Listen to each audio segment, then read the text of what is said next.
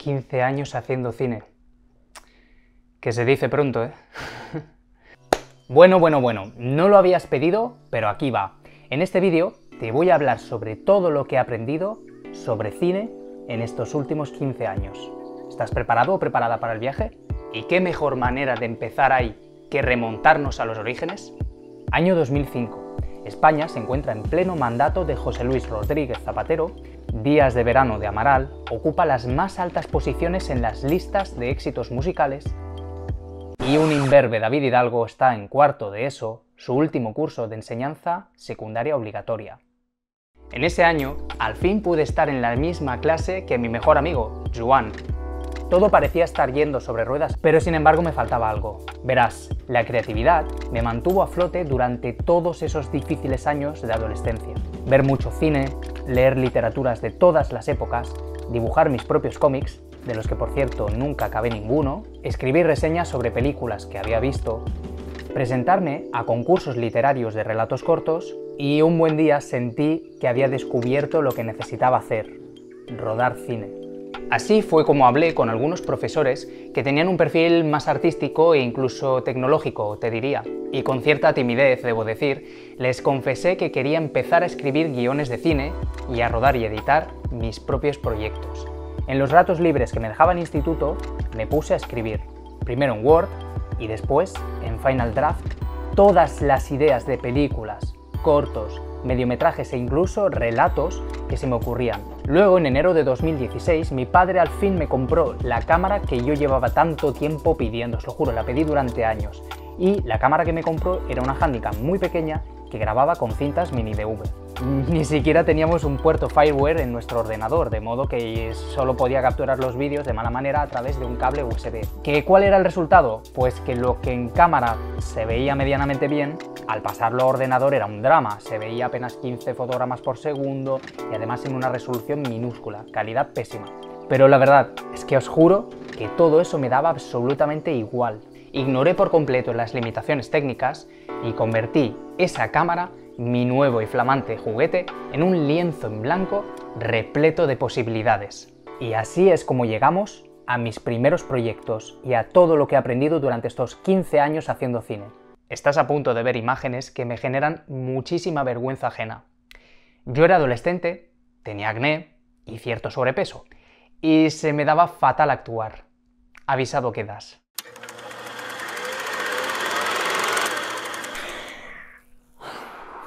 No quieras saber nada sobre esto. Solo te digo que yo me había currado un guion de unas aproximadamente 40 páginas, basado en una historieta absurda que mi amigo Juan y yo nos inventamos en cuarto de eso, y bueno, solo usamos ese guion durante la primera jornada de rodaje, no solo porque los amigos que conseguí que actuaran en este proyecto sencillamente es que nunca quisieron aprenderse este guion, pero es que además yo mismo lo perdí. No sé cómo ni dónde, pero perdí la única copia impresa que teníamos después del primer día del rodaje. Y aunque hubiera sido tan fácil como imprimirlo de nuevo, pues sinceramente yo viendo que era el único que me iba a tomar ese rodaje en serio y que me iba a aprender ese texto, pues al final decidí usar lo que estaba en mi cabeza como una simple guía de la historia que queríamos contar. Y entonces, pues fuimos improvisando sobre la marcha. Y aunque el resultado final es aberrante, pues mira, me lo pasé de lujo y fue la mejor primera experiencia detrás de las cámaras que yo podría haber tenido, dadas las circunstancias. Y esta es la primera lección, diviértete. Sé consciente de que lo primero que vas a hacer nunca va a ser tan bueno como lo que rodarás con años de experiencia, con un presupuesto y con un equipo profesional apoyándote. En este caso, mira, era que éramos un grupo de chavales que estábamos jugando a las películas, rodando una chorrada. Así pues, dejé que la cosa fluyera y me iba inventando escenas sobre la marcha, hilando como buenamente podía pues todo aquel desastre narrativo. Simplemente les di a estos amigos que protagonizaban la peli las bases de lo que tenían que decir y mira, gracias a esto pues salieron improvisaciones y chascarrillos muy locos que todavía me río a día de hoy. Fíjate si nos lo pasábamos bien, que Juan estuvo semanas currándote una maqueta de un edificio a escala real y la hicimos explotar con petardos para una escena. Nuestra versión de efectos prácticos, ¿no? Fue maravilloso compartir esos buenos ratos con Juan, con David y con Jordi. Por eso insisto, si lo que vas a rodar por primera vez no es bueno, y probablemente no va a ser bueno, pues al menos pásatelo tan bien como puedas, porque cada rodaje es una experiencia irrepetible, que tiene sus malos momentos, pero que para cuando te das cuenta ya ha pasado, y al final de lo que te vas a acordar es de lo bonito. Este sí es el que podríamos considerar como mi primer corto. Se trata de un corto de acción de unos 8 minutos que rodamos en poco más de dos días. Si hice tratos sucios con el simple fin de pasármelo bien y de aprender, Burglary en cambio tenía un objetivo muy claro, ser mi trabajo de recerca, que es lo que en Cataluña hace las veces de trabajo final de bachillerato. Tanto escribir el guion como crear el storyboard, rodar y editar el corto fueron procesos supervisados directamente por mi tutora, Esther Ferrando, a quien por cierto mando un fuerte y cariñoso abrazo desde este vídeo.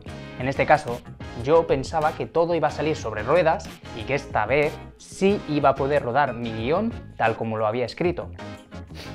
Ingenuo de mí. Y es que justamente el día que íbamos a filmar el grueso del corto, empezó a diluviar. ¿Cómo te quedas? De modo que lo que tenía que ser un corto que alternaría escenarios interiores y exteriores y que también contaría con secuencias de combate cuerpo a cuerpo, bueno, lo que podíamos grabar cuerpo a cuerpo con esa edad y sin esa experiencia, ¿no? Se vio completamente alterado. Y es que dado que además mi protagonista David y uno de los villanos, Jordi, se iban de vacaciones y luego ya empezábamos el instituto porque ya entrábamos en septiembre, pues posponer el rodaje no era una opción. Había que rodar esta tarde sí o sí. Y aquí llegamos a la lección número 2. Hay que saber ser flexible para resolver problemas sobre la marcha. Lo que hicimos al final fue adaptar lo que ya había escrito al hecho de que estábamos obligados por narices, por tiempo y por la lluvia a rodar todo el corto dentro de una casa.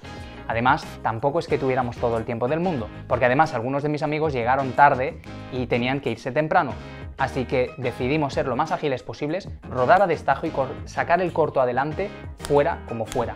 Por suerte, pudimos grabar en casa de mi amigo Juan y era una casa de tres plantas repleta de habitaciones y de trasteros. Gracias a eso le sacamos mucho jugo a esa localización y al final todo salió bien. Saqué una notaza con el TFG, con el trabajo de final de grau, pude presentar este corto a ciertos festivales estudiantiles en 2006 y 2007 y en definitiva fue otra experiencia muy positiva que me llevé.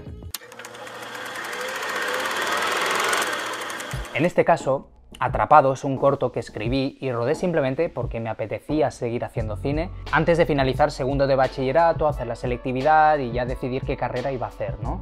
Hacía años que había visto Última Llamada, Identidad, La Cabina y otras películas que transcurren en una sola localización. Estaba impresionado por el concepto de los thrillers que tienen lugar en un solo escenario porque lo claustrofóbicos que resultan, la verdad es que era algo que me flipaba, me atraía muchísimo. Por eso quise rodar un corto que narrara la historia de un chico al que un psicópata encierra en su propio coche, bajo la amenaza de que si abre o arranca el motor o cuelga la llamada, el vehículo volará por los aires, con él dentro, por supuesto. Lo que salió de ahí fue un thriller bastante cutre, muy sencillo, de unos 15 minutos que escribí, tal como siempre predica Robert Rodríguez en su particular escuela de cine, pensando en lo que yo ya tenía a mi alcance. Tenía un coche, me tenía a mí como protagonista, tenía a mis amigos y a mi hermano mayor como personajes secundarios. Pues entonces jugué con esos elementos y el aprendizaje que me llevé en este rodaje fue saca todo el partido que puedas a tus localizaciones. Salvo al comienzo y al final del corto, que hay otras localizaciones que aparecen brevemente, el grueso de la historia tiene lugar dentro del que por aquel entonces era literalmente el coche de mi padre. Y te aseguro que mantener el interés del espectador durante un cuarto de hora dentro de un coche no es nada fácil. Precisamente por eso jugué mucho con los encuadres, con el ritmo de cada plano, y si ya en Burglary había metido la cámara, por ejemplo, pues dentro de una mochila para un plano recurso, pues aquí por ejemplo directamente grabé desde dentro de una guantera, aprovechando el pequeño tamaño que tenía mi Handycam. A eso me refiero cuando te digo que saques el máximo partido a tus localizaciones. Conoce bien en qué localización vas a rodar y date permiso para jugar con la cámara, como si tuvieras ante ti un lienzo en blanco y pudieras pintarlo a tu antojo. De verdad, si conoces bien tu localización, tu creatividad es el límite. Y aquí hemos llegado a la gran bomba, la peli que iba a cambiar mi vida y mi concepto del cine para siempre. Sin entrar en muchos detalles, porque insisto, ya he hablado de todo esto, digamos que a finales de segundo de bachillerato, hacia el verano de 2007, yo tenía clarísimas dos cosas.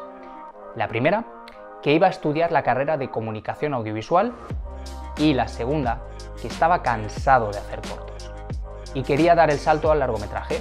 Así pues, en junio de 2007 escribí un guion de unas aproximadamente, creo recordar, 60 páginas, titulado Deseo concedido. Trataba sobre un chico que no valora lo que tiene en la vida y al que se le presenta un misterioso ser que le concede 15 deseos para que los use como buenamente considere. Lógicamente, pues el protagonista al final acaba arruinando su vida y su relación con sus seres queridos con estos deseos, con sus propias decisiones, y en el proceso acaba llevándose un aprendizaje. Dios santo, eh, qué cringe me estoy dando ahora mismo. El tema es que empecé a rodar a toda prisa, sin ninguna preparación previa ni preproducción de ningún tipo. No me tomé el reto de hacer una película en serio. Fui cogiendo actores de aquí y allá, que por cierto me cumplieron sorprendentemente bien, y me empeñé en ser director, guionista, productor y protagonista, con 18 años y todo a la vez, sin experiencia previa, sin rodearme de un equipo que además me ayudase a realizar mi visión con más tranquilidad. La cosa es que de un día para otro, lógicamente, se me empezaron a caer actores y actrices del proyecto por distintas razones, algunas personales y otras profesionales. Y si a eso le sumas además que mis padres me compraron una nueva y mejor cámara, acabé tomando la razonable decisión de reescribir toda la peli, convirtiendo lo que hasta entonces era una comedieta sencilla, con toques de drama y una moraleja, en lo que sería al final el deseo final. Era la misma historia, pero añadiéndole mucho más drama, toques de thriller sobrenatural, incluso pinceladas de cine superheroico, todo esto con un presupuesto limitadísimo. Suena bien sobre el papel, pero de nuevo el resultado no estuvo a la altura porque me empeñé en rodar deprisa y corriendo todo yo solo. Y esto fue lo que aprendí no abarques más de lo que puedas. Rodéate de un buen equipo artístico y humano, no solo para que te ayuden en todo lo que necesites y contribuyan a mejorar tu proyecto, sino además, y esto es muy importante, para que te den feedback e incluso discutan o pongan en duda algunas de tus decisiones creativas cuando sea necesario. Porque créeme, a veces las personas creativas pecamos de tener visión de túnel y nos empecerramos en que estamos tomando decisiones geniales, súper justificadas respecto a nuestra historia. Cuando quizás lo que tendríamos que hacer, lo que necesitaríamos es darle una vuelta a lo que hemos escrito y mejorarlo. Y no me seas ansias, anda. Tómate tu tiempo para darle a tu proyecto la talla e infraestructura que necesitas para realizarlo en las condiciones que se merece. Lo último que quieres, te lo aseguro, es que de un guion brutal acabe saliendo una peli cutre de la que no te sientas orgulloso. Tras estrenar El deseo final a principios de 2009, acabé física, mental y emocionalmente exhausto. Por eso, decidí dejar de lado los proyectos de largometrajes, como por ejemplo una película sobre viajes en el tiempo, Paradox, que había escrito y que de hecho ya estábamos en fase de ensayos. Bueno, lo cancelé y decidí centrarme en volver a hacer cortos. Y así fue como en el año 2010 escribí un corto de superhéroes en found footage. Ya sabéis, el found footage es el formato que se ha utilizado en películas como The Blair Witch Project, Cloverfield o Chronicle, entre otras. De cara al rodaje, aparte de recuperar actores y actrices que ya habían participado en anteriores proyectos míos, además de otras tantas personas que, sin haber colaborado anteriormente conmigo, pues se sumaron al proyecto, conocí y conté con la inestimable ayuda de quien acabaría siendo un muy buen amigo y un colaborador recurrente, el cineasta de Tarragona, Jonathan Jiménez. Durante la postproducción, volví a contar con la maravillosa música de Julio Montero, que ya había hecho la banda sonora del Deseo Final, los geniales efectos 3D de Sam Vila, unas animaciones 2D increíbles cortesía del crack de Julie Bert y una brillante locución del artista Efraín RS. Y todas estas personas pues ya habían participado en el deseo final anteriormente. ¿Empiezas a ver la diferencia con los primeros proyectos? Aunque no es mi mejor corto ni de lejos, lo que hice bien en aquel entonces fue rodearme de un equipazo. Y esto ayudó a que el corto saliera a buen puerto. La lección que te puedo aportar en este caso es rodéate de un buen equipo porque aunque al final las cosas puedan torcerse, con paciencia, tesón y un buen equipo respaldándote, incluso cuestionando tus decisiones y dándote buenos feedbacks, al final todo acabará saliendo bien. Este es el que considero mi primer corto realmente bueno, tras estar años intentando rodar proyectos más grandes de lo que podía permitirme o abarcar, en 2011 hubo un cambio. Recibí un guion escrito por David Romero que me fascinó. Se trataba de un relato de nueve minutos en el que un hombre huye de una misteriosa luz que le persigue sin descanso. Era una historia sencilla, factible de rodar con los medios de los que disponíamos y sobre todo muy concisa e intrigante, que me permitía aplicar todo lo que yo había aprendido hasta la fecha. Así pues, mi buen amigo Jonathan Jiménez y un servidor codirigimos el corto, con la ayuda de personas con las que solíamos colaborar a menudo, rodando en unas aproximadamente tres jornadas entre Sitges y Vilanova y la Geltrú. Fue un rodaje eminentemente nocturno con la dificultad logística y el jet lag que eso conlleva. La clave de que todo el corto saliera bien, al final, fue la siguiente. Tómate tu tiempo y cuida cada detalle. Aunque no lo parezca, el cine se compone principalmente de pequeños detalles y eso es súper importante. Es importantísimo no solo rodearte de un buen equipo que te ayude a ejecutar tu visión, sino también saber cuándo ser flexible y adaptarte a las circunstancias, pero ojo, también cuándo debes luchar a muerte por poder rodar los planos que has imaginado tal como los has imaginado. Si no te tomas tu tiempo y además no te tomas la atención por el detalle necesaria, puedes acabar teniendo en tu haber una obra que no sentirás completamente como tuya. A finales de 2011 y tras la genial acogida que tuvo el corto La Luz, tanto a nivel de reseñas como de público, David Romero se animó a enviarme otro guion, que era el episodio piloto de su proyecto de webserie.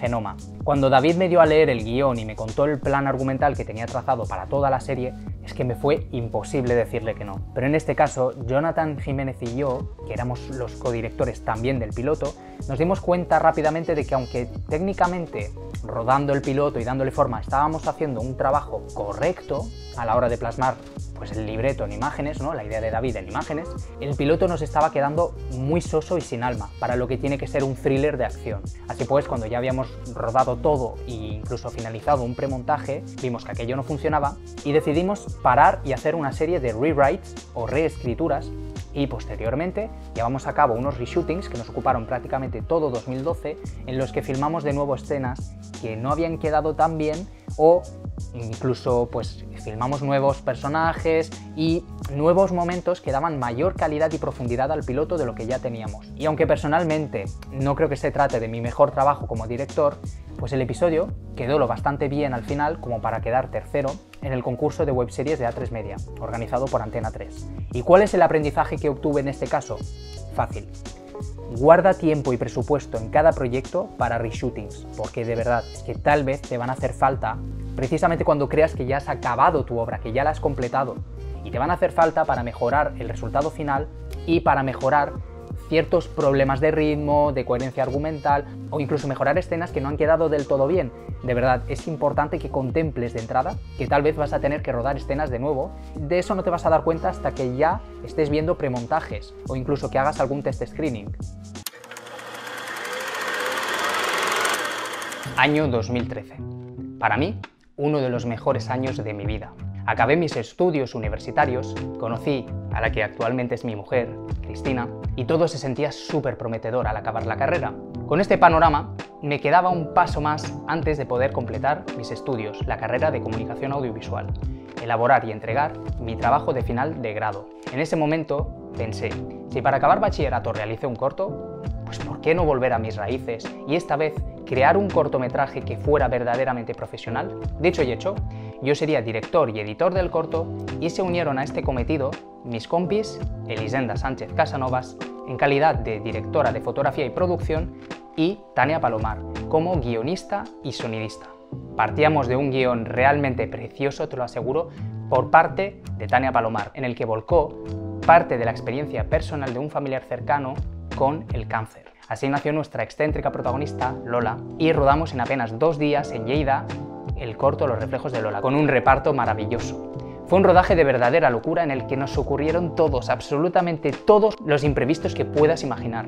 Pero al final, con mucho tesón y persistencia, gracias al equipazo que había detrás, lo sacamos adelante. Y aunque la falta de medios se tradujo en que el resultado de tanto en tanto se ve un poco amateur, lo cierto es que creo que el corto quedó bastante bien, quedó una historia chula y incluso conseguimos cierto recorrido en algunos festivales. Personalmente yo me quedo con lo siguiente. Si tu historia te importa, eso al final se refleja en el resultado. Y llegamos al año 2014. Por aquel entonces yo me sentía muy frustrado. vital y profesionalmente. Había completado mis estudios universitarios hacía casi un año y en este tiempo no había conseguido ninguna oportunidad prácticamente de trabajar en el sector audiovisual. Fui alternando trabajos de atención al cliente, pues con grabar y editar un vídeo por aquí, un vídeo por allá, algunos remunerados y otros no, ¿no? Pero tras varios encargos que fueron no remunerados y otros que estuvieron mal pagados o que directamente no se me pagaron, pues estaba muy bajo de ánimo. Así que al final pues decidí tomar cartas en el asunto. ¿Cómo? Haciendo lo que yo mejor sabía hacer, arrancar un nuevo proyecto.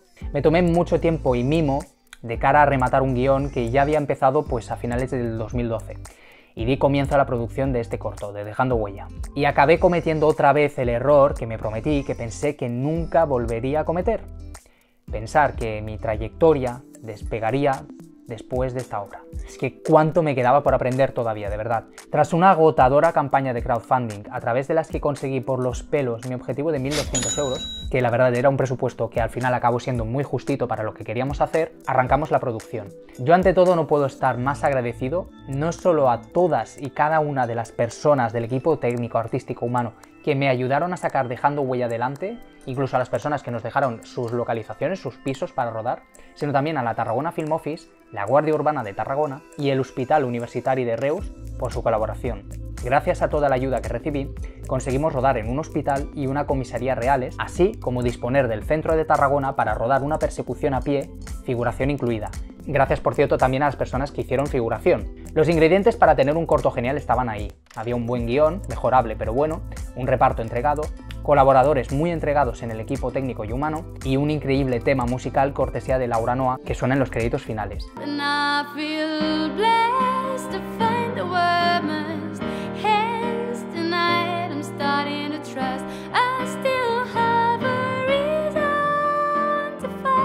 Y aunque considero que en general en conjunto es un buen corto, que incluso recibió buenas reseñas en su estreno, pues se quedó en nada porque tuvo un recorrido muy pobre en festivales. Y en perspectiva, creo que cometí varios errores de manual. Por resumir, el primero de estos errores fue traer hasta Tarragona a gran parte del equipo que era de Barcelona.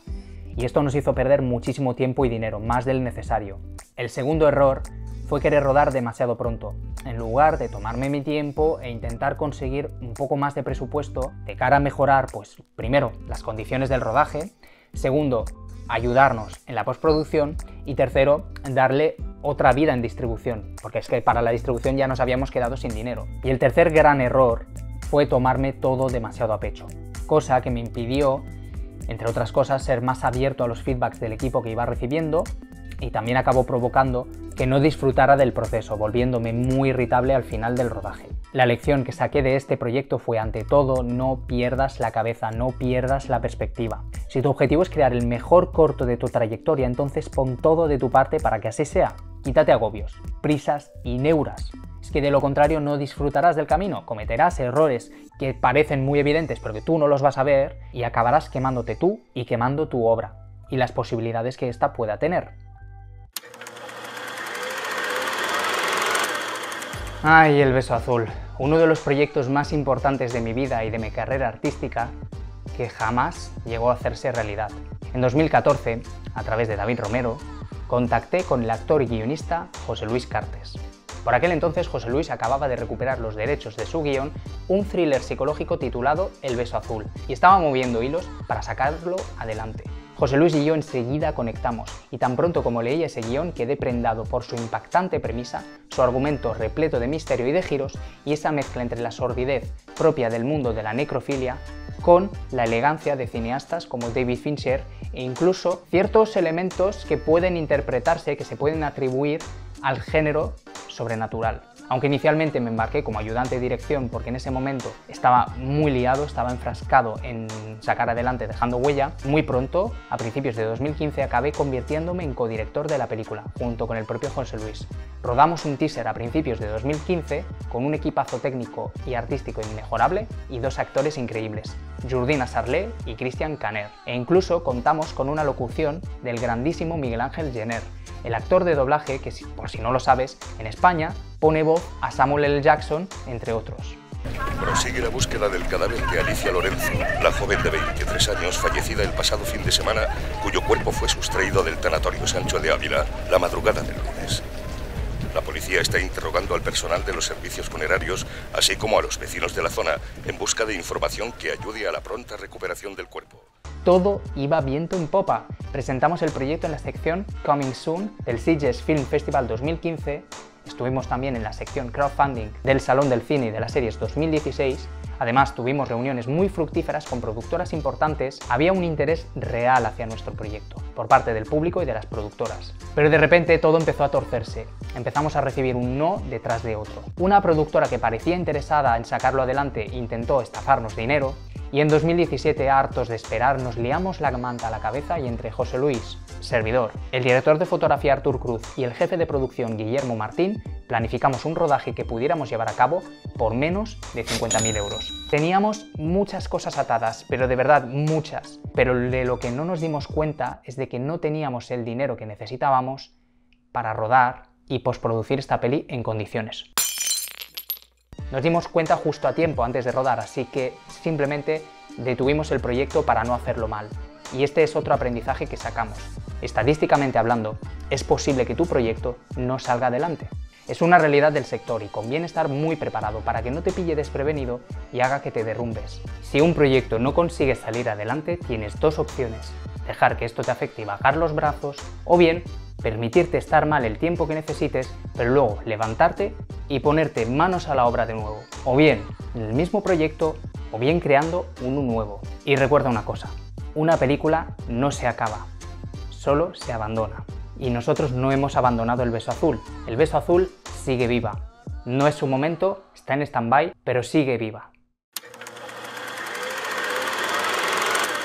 Ya hablé en detalle sobre el rodaje de este corto y todo lo que aprendí realizándolo en otro vídeo que también te dejo por aquí. Por hacer un breve resumen, se trata de un corto que escribimos, rodamos y editamos en apenas 48 horas, con una producción a caballo entre San Carlos de la Rápita, Amposta y alrededores, y los preciosos paisajes del Delta del Ebro. Lo concebimos en inglés con el objetivo de participar en un concurso estadounidense de cortos en 48 horas, pero como ya sabrás si viviste precisamente el vídeo donde hablaba sobre todo esto, mi PC, cuando nos faltaba súper poco para cumplir el plazo, pues no quiso exportar el corto. De modo que incumplimos el deadline y perdimos todo el dinero que habíamos pagado en la cuota de inscripción. La producción de Trouble Waters fue todo un desafío del que sacamos muchísimos aprendizajes, pero el principal fue este. Cuando creas que lo tienes todo atado, aún te queda trabajo por hacer. Por más que creas que ya lo tienes todo atado, requete atado, súper organizado y que el rodaje o la postproducción fluirá bien porque es que tú ya lo has contemplado todo lo que puede pasar y que no habrá contratiempos? Ay amigo, la vida y el cine tienen formas muy retorcidas de cargarse todo tu tiempo y todo tu esfuerzo, créeme. Por eso, cúrate en salud, planifica absolutamente cada detalle, haz muchas copias de seguridad en discos duros, lleva dos ordenadores o más para volcados o para hacer documentos, Asegúrate de llevar contigo unos buenos walkie-talkies en caso de que no haya cobertura para los móviles. Comprueba varias veces que tus localizaciones están disponibles y atadas. Chequea regularmente la disponibilidad de tu equipo humano, no vaya a ser que alguien no se haya enterado bien de la convocatoria, que alguien se haya puesto enfermo. Compruébalo varias veces, compruébalo todo varias veces. Como ya dije en otro vídeo, mi buen amigo y colaborador Artur Cruz, director de fotografía, siempre me lo dice. Cuanto más sudes en la preparación, menos sangrarás en el campo de batalla.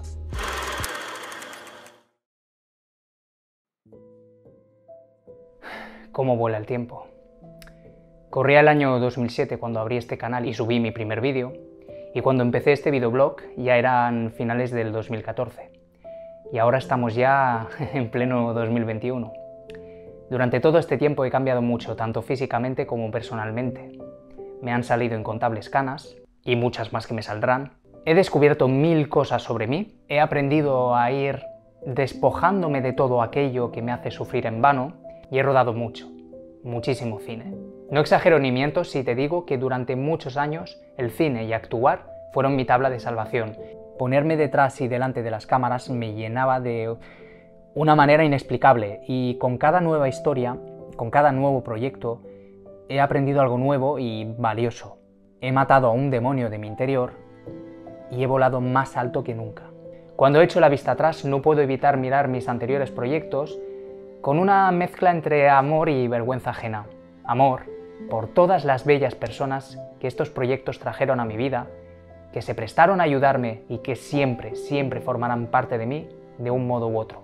Y vergüenza ajena porque cada proyecto refleja de algún modo en qué momento me encontraba y en cada uno cometí errores de los que a, día de hoy aún me avergüenzo. Aunque todavía tengo la fortuna de tener en mi vida muchas de las personas a las que conocí rodando cine, algunas otras personas se han marchado. Nos hemos alejado. Y por eso hay proyectos que me dejaron un sabor de boca agridulce. Porque me recuerdan a todos los errores que cometí, las veces que debería haber callado y escuchado, las disculpas que debería haber pedido antes, las gracias que podría haber dado más a menudo y la autoexigencia que tendría que haberme quitado de encima. Ojalá pudiera decirle a ese chaval de 16 años que tranquilo, que aunque vendrán baches y momentos difíciles, saldrás adelante. Y no solo eso, te sentirás mejor contigo mismo, te irá muy bien y vas a ser más feliz de lo que jamás imaginaste que serías. Pero ante todo, el mayor aprendizaje que he sacado durante estos 15 años haciendo cine es no dejes que el arte se convierta en todo lo que tienes en tu vida. Está genial que el cine sea tu pasión, que el arte sea tu pasión, que sea tu sueño y tu fuente de ilusiones. Pero si dejas que este oficio, este arte, te absorba por completo, puedes perder de vista cosas muy bonitas e importantes. Por ejemplo, pasar tiempo con tu familia, coleccionar momentos inolvidables con tus amigos, amar y que te correspondan, visitar parajes que se te quedarán grabados para siempre en el recuerdo, porque como siempre dice mi buen amigo y mejor cineasta Dani Zarandieta, a quien por cierto ya entrevisté en este canal anteriormente, lo importante en esta vida es ser feliz, hermano. Por eso te deseo que tengas una feliz vida, alimentando tu arte con todo aquello que atesores en tu paso por este mundo. Suena bien, ¿verdad? Gracias por estar ahí siempre, de corazón.